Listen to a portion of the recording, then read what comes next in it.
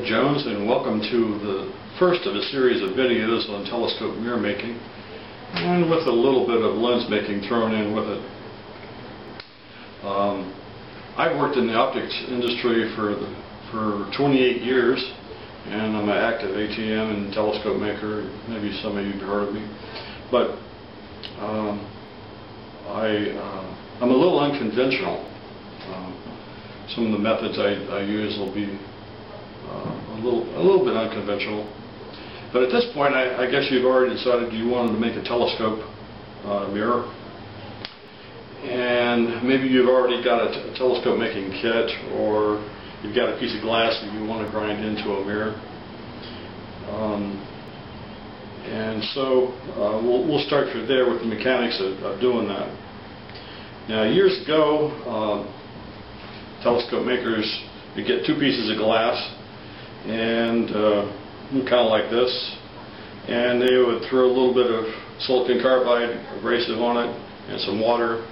And then they uh, would do a nice W stroke overhanging your mirror on top over the edge and a nice long W stroke. And a long W stroke uh, grinds away the center of the, the uh, mirror on top and grinds away the edges of, of the tool and generates uh, a uh, generates the curve that way.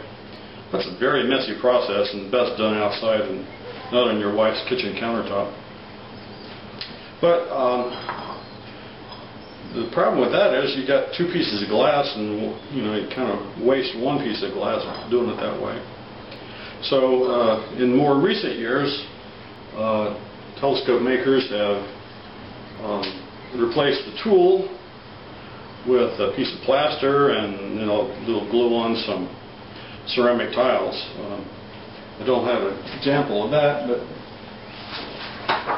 here's a picture of one on the internet where we made a plaster tool and then uh, put on your tiles and um, now that works the same. Ceramic tiles are just a little bit softer, but I, I don't like this process because if, if you look, all these little grooves are great places for, for grit to collect into. And when you go onto the finer abrasives, uh, that grit can be washed out when you scratch your mirror. And the, the tiles themselves can actually scratch the mirror sometimes. Um, so uh, that, that's a pretty common way of doing it now, but, but there, yet, there's, there's a better way. Um,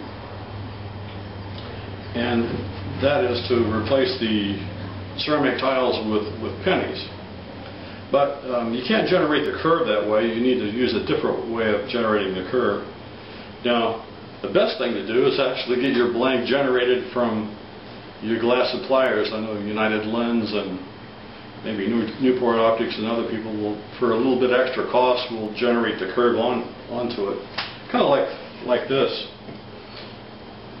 already pre-generated curve. This is a conical blank. And that's very, that's very nice and saves you a lot of work, but it, it's a little more expensive. Um, so if you want to, you really want to do it uh, by hand, um, I would, uh, I would go with the uh, plaster tool with pennies, but we still need to generate the curve. So how do we do that? One way you can do it is to take a piece of cast iron. This is a, a lap back. And if you can find a piece of steel or cast iron that's about half the diameter of your part, you can take your grit and uh, grind grind your W stroke with a piece of cast iron. Um, your part will go concave and you'll you will hardly touch the, the cast iron will cast iron grinds away very very slowly so uh, it's a lot more efficient. Your your grit isn't thrown off as much uh, to get better use out of your grit. And you're only grinding one curve instead of two. And it's a lot more efficient way of doing it. Um, you can do it on the machine if, if you can. And as you're doing it you probably uh, you, will want to um, you want to be able to measure the curve. I should back up. Before you do anything to a, a piece of glass, you want to make sure you take a stone and grind a nice protective chamfer around all your edges because um, a sharp edge on a piece of glass will chip very, very easily and you can easily make a nice big chip across your mirror and, and and uh, it would still work, but cosmetically it looks really bad. So uh, the very first thing you want to do is take a stone and chamfer the edges of your glass. So like I said, I would recommend a, a piece of steel or a cast iron to, to grind it. Although an uh, even better way um, is to take a take a diamond tool. This is a diamond tool that I use on a machine, but you can take this and it's got a diamond embedded into a matrix around the rim and you can use that to, grind your grind your uh, your curve. And with a diamond practically everything that comes off is glass. The very um, diamond matrix wears away very very slowly. You can make thousands of parts actually with a piece of tooling like this.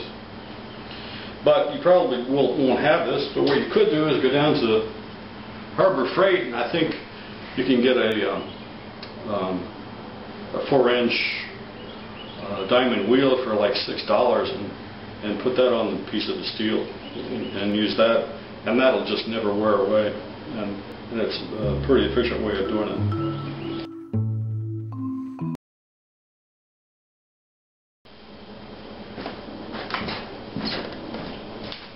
Okay, um, so first of all, let me say this is going to be a messy operation, and um, probably best done outside if you can.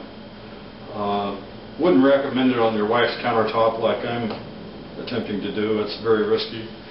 Um, and um, if you, you, I mean, you can do it in, indoors. Uh, a lot of guys use a barrel and place uh, place the mirror on the barrel and, and walk around the barrel and doing this. Um, might add here, I've got a piece of, um, uh, for, for support, I've got a little piece of bubble, pap, bubble wrap, and you can throw that away after we're done with the different grips. It's pretty cheap. So, and the, uh, the first thing you want to do before you even get started, actually when, as soon as you get your blanks, you want to put a bevel on your blank. a decent sized bevel, which I've already done. Um, basically, you take a silicon carbide stone and with lots of water and, and grind it, um, kind of like a file. You don't want to come up on it. You want to grind the edge, grind away from the edge, and put a be nice bevel on it because it's it's a very it's very risky if you don't because glass will chip very easily if you accidentally bump it against a piece of a steel or something or it's, it's, it's so simple to do, and you, you, you'll end up with a big chip that will take uh, hours and hours to grind out if you, um, or maybe maybe you can't even do it. So it's um, you want to do that. The very first thing is put a decent bevel on it, and keep that bevel on there all the way during during the whole process um, for safety. So um, if you're not uh, depending on how deep you want it, your curve is going to be, um, you want to um, start out probably with 80 grit, probably for for a good steep mirror. I'm going to start out with 120 because um, I'm really not going to finish this this up with. Uh, uh, I'm just I'm doing this for demonstration, but it's the same process. I'm going to throw some water on your on your mirror. And like I say, this is this is 120 grit. And sprinkle a good amount around. Maybe work around a little bit. Get it, make sure it's all wet. And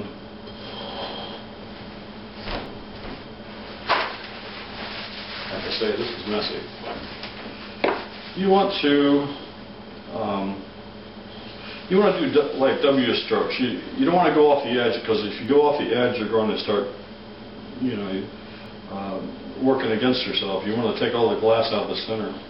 So if you want to do a W stroke like this,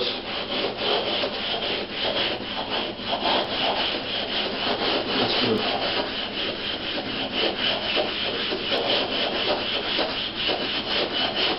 That's the way I would I would go about it. And then um, if, you, you're working outside on a, or if you if you've got a barrel that you're setting this on, you can simply walk around your barrel. Um, if not, you want to rotate your your part. Um, not this quick, but you want to you want to keep it um, you want to keep it rotating so that you your everything evens out. You don't want to grind too much off, off of one edge. So you just keep this keep this process up.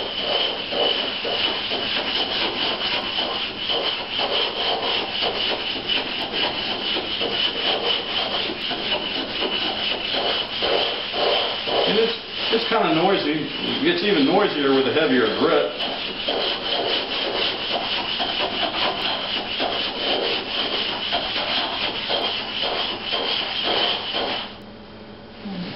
You know, just rotate it every so often, just for, for good measure.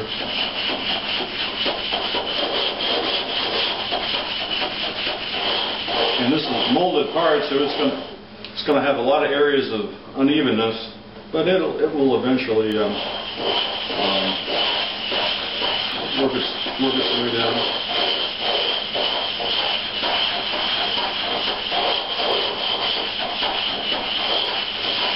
And you can hear the noise the glass. You can, yeah, you can go in circles too if you want to. Kind of help distribute the, the grit around. You, you can hear it working, but eventually, eventually the, the grit will um, um, be more and more quiet, and, and that means it's not going to um, not working as much. You get a lot of glass build up and broken down grit, and so you're after after a few minutes of this kind of work, you're gonna you're gonna need to uh, clean everything up. That's why it's nice to do this outside. You just simply take a hose and rinse it all off.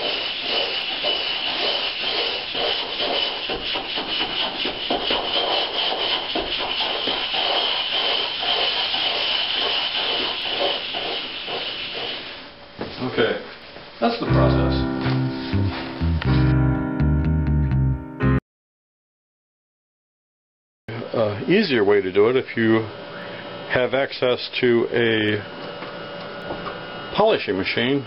Machine. I've got this diamond wheel that I showed you earlier set up on a on a spindle with water dripping on it, and um, I'll let the machine do all the work. Here's how it runs.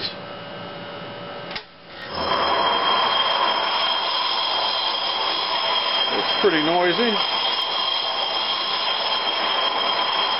And you notice that the uh, stroke uh, is the, the, the stroke is long enough that, that the wheel goes to the edge and goes to the center.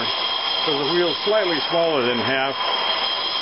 Um, and that's okay. Um, but this this will generate the curve. A much easier way to do it. Doesn't have to be a machine. You could actually make a, uh, a rotating spindle and uh, attach the quill, which holds the tool with just a simple uh, lever on a hinge, maybe something something very simple. Uh, save you a lot of work.